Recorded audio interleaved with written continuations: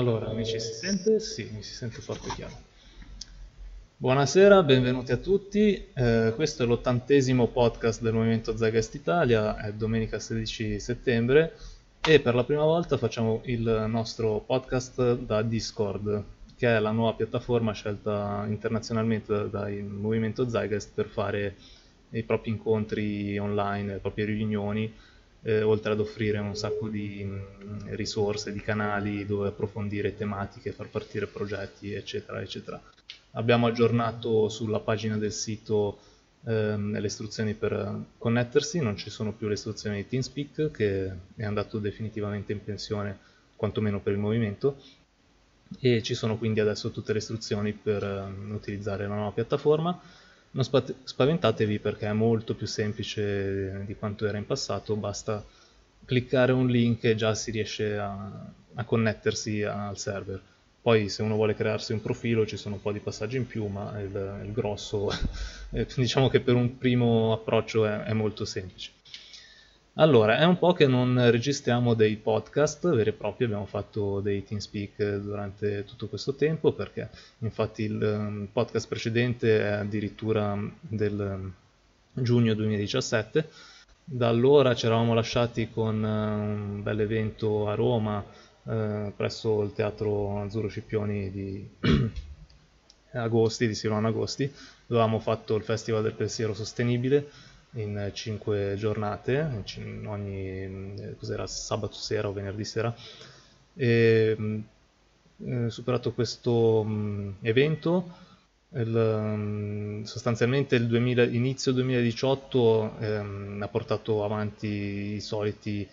eh, incontri tra attivisti qui a Milano, dove abbiamo i nostri soliti progetti tipo l'orto cittadino, piuttosto che le, le,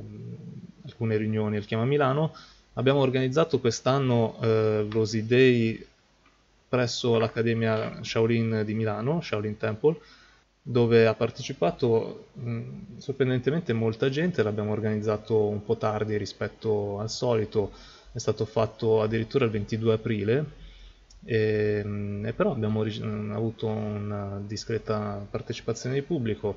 eh, abbiamo proiettato vari filmati di, tratti un po' da, dai film, un po' da, dalle web series uh, Culture in Decline. E poi abbiamo cercato di, di, parlare abbastanza con il pubblico. E il tutto poi si è concluso con una bella serata da un indiano lì vicino, un ristorante indiano, eh, abbiamo fatto tanti nuovi contatti. Eh, molte persone ci hanno chiesto quando è che ci possiamo vedere, ehm, ma per... mi ricordo vari attivisti che mi scrissero dicendo ma come mai non organizzate mai nulla giù nel sud Italia, noi arrivare fino a Milano, lontano, eccetera. E quindi questo, quest'estate abbiamo pensato di organizzare un, una vacanza tra attivisti per, per stare insieme e parlare delle tematiche Zeitgeist in una maniera un po' più rilassata e meno, meno. professionale, meno eh, stile conferenza. E così è stato fatto, abbiamo organizzato questo Zeitcamp il, um, presso la Libera Università di Alcatraz di Jacopo Fo, l'abbiamo fatto dal 31 agosto alla, um, a domenica 2 settembre. E non siamo stati tantissimi anche perché purtroppo abbiamo cominciato um, a promuovere la cosa um, a inizio luglio, quindi la gente o aveva già organizzato le vacanze o comunque magari era già in vacanza, eh, insomma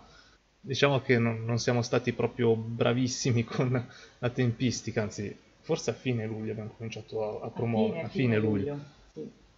Sì, ma mh, tutto sommato eh, siamo stati pochi ma buoni, come si dice abbiamo conosciuto persone molto interessanti, oltre che Jacopo, Mario Pirovano, con i quali abbiamo fatto belle chiacchierate e quant'altro.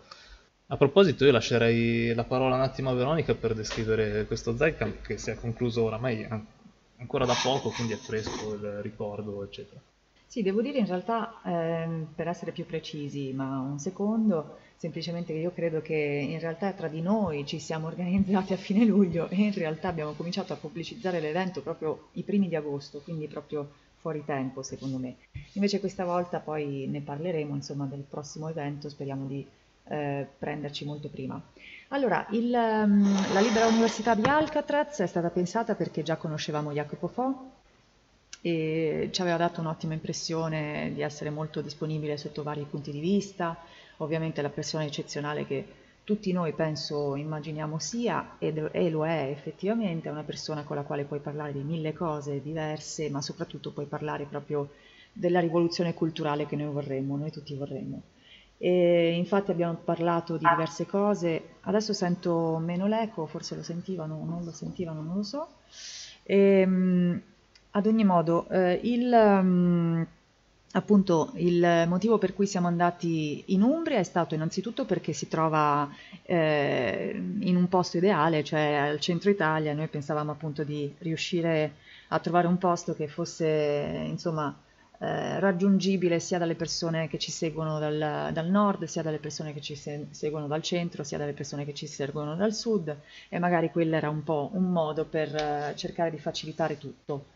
In realtà poi, appunto, essendoci presi un po' tardi nella promozione dell'evento, la cosa non è avvenuta del tutto, però in parte sì, eh, certamente c'erano alcuni eh, simpatizzanti che ci ha fatto molto molto piacere conoscere, persone molto in gamba e quindi, come si suol dire, pochi ma buoni. E le cose che abbiamo fatto sono state parlare prevalentemente tra di noi, cercare di fare attività anche sociali, anche camminate, passeggiate nel bosco, abbiamo fatto un po' di tutto, abbiamo nuotato, abbiamo fatto lo yoga della risata, ci siamo divertiti insomma, quindi eh, abbiamo fatto delle attività con...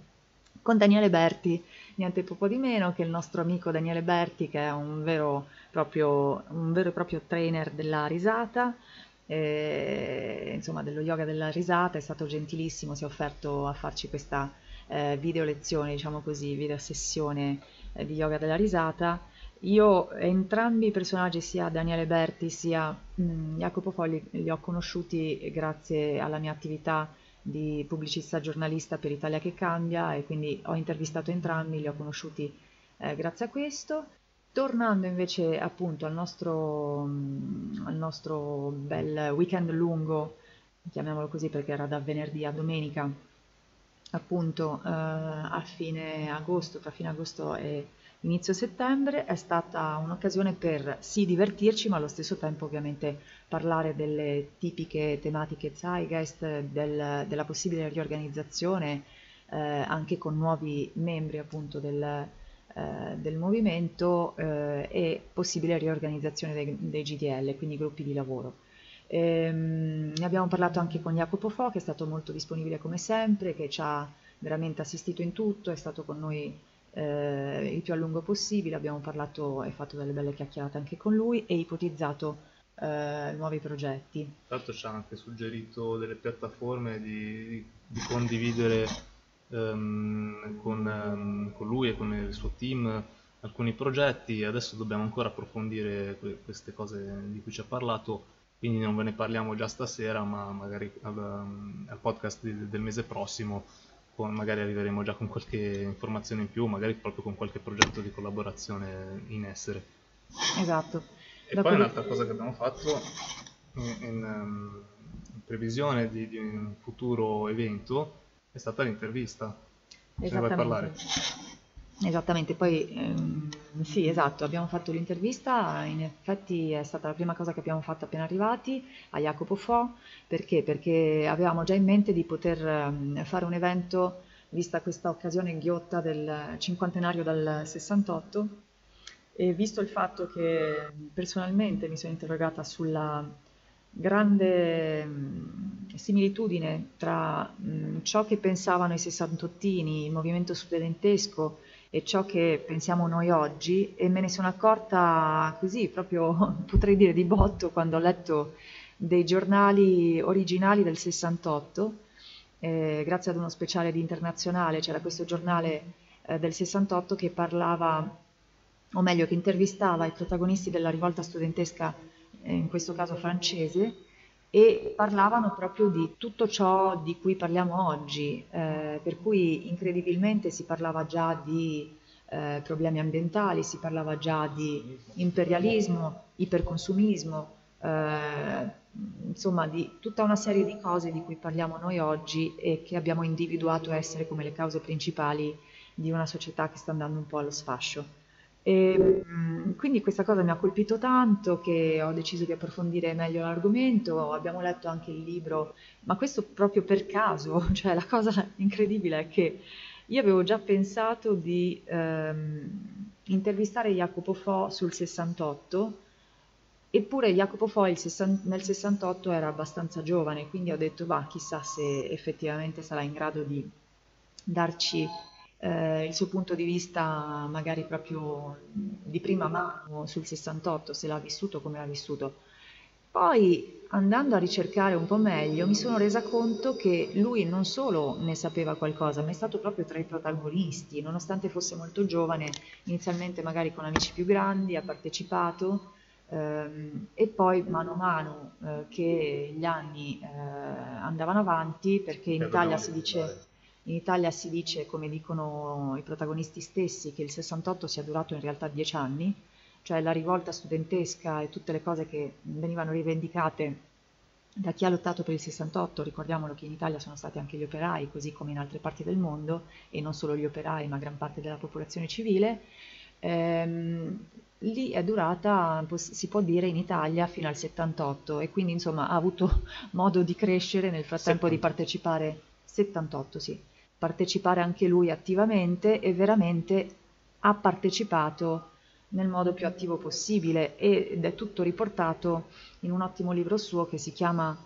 ehm, C'era una volta la rivoluzione, che ha scritto insieme a Parini, un suo compagno di lotta, e che veramente dà uno, uno spaccato incredibile appunto di quegli anni. Quindi eh, con grande sorpresa abbiamo scoperto che eh, cioè, c'è stata una bella, una felice intuizione mh, mm, e così abbiamo deciso di intervistarlo sul, sul 68 proprio perché eh, avevamo intenzione di fare questo evento in concomitanza con il cinquantenario. Così l'abbiamo intervistato, eh, proietteremo durante l'evento un estratto, sarà un estratto di massimo 10-15 minuti, mh, mm, e eh, cercheremo soprattutto di coinvolgere il pubblico. Come cercheremo di farlo? Questa volta, appunto, come accennavo prima, cercheremo di ehm, cominciare a pubblicizzare l'evento abbastanza prima e uno di questi modi ho pensato magari potrebbe essere quello di eh, cominciare a, mh, mm, eh, come dire, tastare il terreno, vedere un pochino cosa ne pensano le persone che ci seguono sul 68 e quindi per esempio fare le stesse domande che poi alla fine abbiamo rivolto a Jacopo, che sarebbero dove ha vinto il 68 e dove ha perso ok, mm, cioè sto semplificando il concetto, però insomma Vabbè, questa, è meno, queste domande poi questa è più o meno la cosa e avevo pensato di lanciare queste domande già da adesso, per esempio tra pochi giorni, sulle pagine Facebook, in modo che, sulle nostre pagine Facebook intendo, in modo che le persone possano già esprimersi e possiamo già ehm, cominciare a dire che le, i commenti più interessanti eh, che danno veramente un, buon, un buono spunto per la riflessione mh, mm, verranno letti poi durante l'evento appunto a Milano. Eh, quindi questo è l'evento che mh, mm, cercheremo di fare e di pubblicizzare, questo sarà il 10 novembre sul 68. Uh, per concludere la nostra esperienza che è stata appunto ad Alcatraz, essendo stata molto positiva, in realtà ci sarebbe troppo da dire, abbiamo mangiato da Dio. Stiamo uh, per pubblicare comunque un bel report. Esatto, stiamo per pubblicare un report, un piccolo report, eh, un po' di foto e dopodiché, comunque sia, insomma, tante sono, sarebbero le cose da dire. Mm, mi fermo qui. E, mm, sì, aggiungo giusto che abbiamo avuto modo di conoscere meglio anche Mario Pirovano, un attore eh, molto interessante che ci ha dato veramente molte, molte belle chiavi per la riflessione anche eh, sullo stato dell'arte in Italia, eccetera, eccetera, tante altre cose e, mm, grande amico ovviamente di Dario Fo, eh, del FU Dario Fo e, e il suo collaboratore, l'abbiamo anche rincontrato recentemente. Ehm, quindi per concludere direi che comunque molto, molto positiva come esperienza perché ci ha dato veramente la possibilità di conoscere sia il posto Alcatraz che avevamo in mente già da tanto tempo, sia delle persone fantastiche, ovviamente mi riferisco in primis anche alle persone che ci hanno voluto raggiungere appunto amici e simpatizzanti che ci hanno voluto raggiungere per questa esperienza. Ehm, e quindi insomma sicuramente da ripetere, abbiamo intenzione di ripeterla. L'anno prossimo saremo molti di più sicuramente. Andando avanti, passerei adesso la parola mm, a Christian, eh, nostro attivista mm, che si divide tra Roma, Germania, Stati Uniti e, e il suo Abruzzo, oh, no scusami, il, il Molise, sai che non mi ricordo qual è la tua regione natale. Vabbè, comunque ti, ti, lascio la parola così ci racconti un po' dei progetti attivi che mm, stiamo, barra stai portando avanti e, mm, e niente, a te la parola Cristian. Sì, sì, il Molise, ma sono un cittadino del mondo, insomma, come hai detto. Comunque, un saluto a tutti. Allora, mi ricollego al discorso di Veronica e soprattutto sulle persone che abbiamo conosciuto ad Alcatraz, i nuovi, spero, futuri attivisti o anche semplicemente simpatizzanti, che eh, grazie a loro abbiamo scoperto alcune cose che in realtà già sapevamo, però ci è stato confermato che è praticamente una delle prime attività che abbiamo intrapreso nell'ultima settimana, ovvero quella di recuperare tutti i vari gruppi vaganti che, vacanti che abbiamo su Facebook attualmente. Quindi abbiamo contattato un po' i vari admin e gli ex attivisti, siamo riusciti a creare questa sorta di rete social e linkare, cioè collegare tutti i gruppi cittadini alla pagina Zeitgeist Italia, in modo da rendere più accessibile eh, eh, appunto eh, la condivisione di idee e risorse al, a tutti noi membri. Questo perché eh, le segnalazioni più comuni eh, sono appunto l'inaccessibilità e le lunghe attese per essere approvati come membri nei vari gruppi che purtroppo noi non abbiamo gestito fino a uh, questo periodo. Ora cerchiamo di fare questo grande lavoro che è quello di controllare le notifiche su Facebook per approvare tutti i vari membri perché in pratica vanno tutti lì prima di non so, contattarci oppure entrare sul sito e quindi cerchiamo di essere più disponibili possibili. Questo perché comunque eh, ricordiamo il movimento si basa su eh, la collaborazione locale per una nuova coscienza globale, possiamo dire così. E quindi invito tutti quanti a seguirci sui canali, ad attivarsi sui canali per creare in futuro magari dei gruppi cittadini collaborativi. Eh, condividendo appunto anche delle idee e magari de- degli eventi come abbiamo fatto alla Libera Università di Alcatraz. Quindi vi invito tutti quanti all'azione.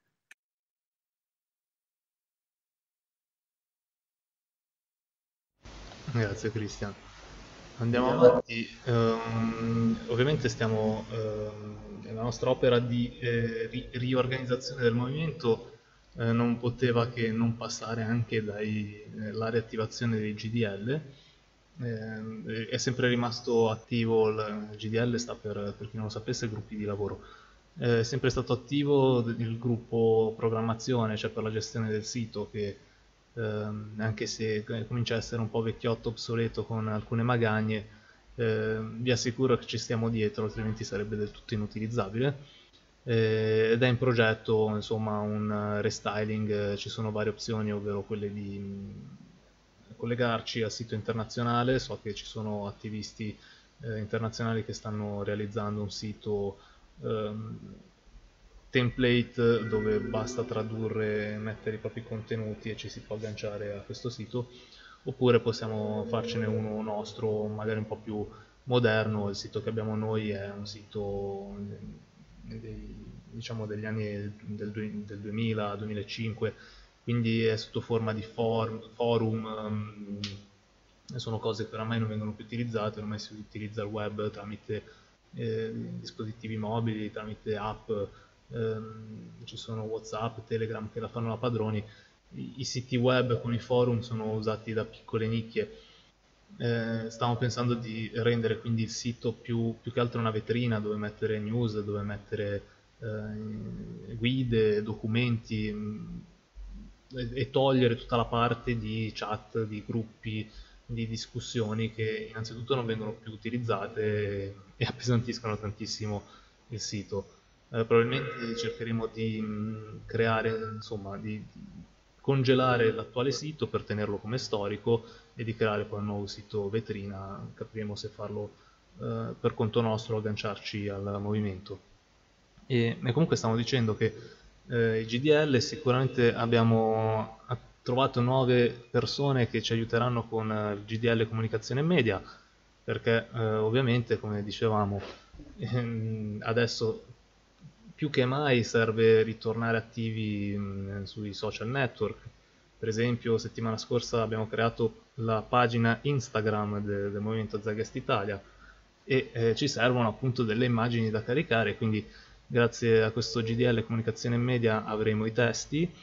e con la riattivazione invece del GDL grafica e video creeremo le immagini anche grazie a un'applicazione mh, scovata da Christian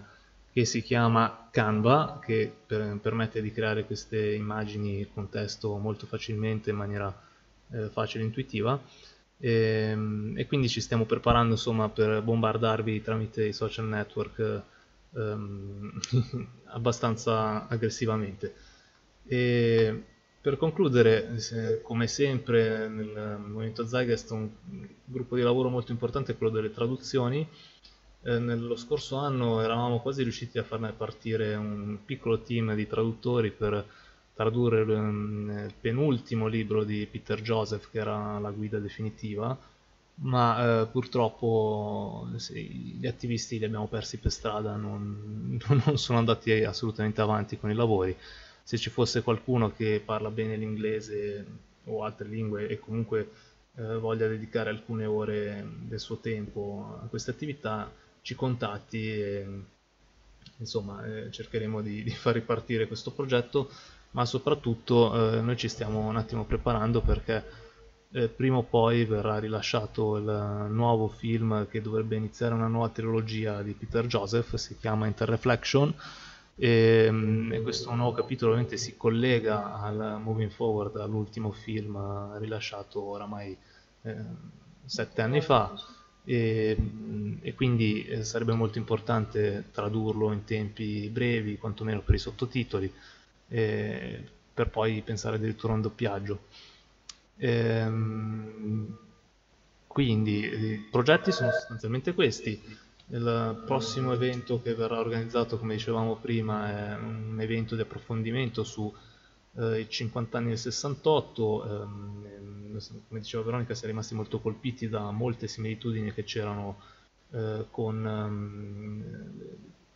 le analisi fatte a, loro, a suo tempo nel 68 che sono molto simili a quelle che facciamo noi. E appunto siamo curiosi di capire come mai eh, in realtà poi eh, ci ritroviamo 50 anni dopo a, ad avere gli stessi problemi eh, e vorremmo sapere un po' anche da, dalle persone del tempo che cosa secondo loro è stato sbagliato, che cosa è andato storto per cercare di non eh, ricommettere gli stessi errori e, e, trovare una via più efficace per eh, eliminare questi problemi di cui parliamo. Esatto, sostanzialmente, scusami l'interruzione, sostanzialmente la storia si ripete, lo sappiamo, in modo ciclico, quello che importa è riuscire a imparare dalla storia stessa per non ripetere gli stessi errori.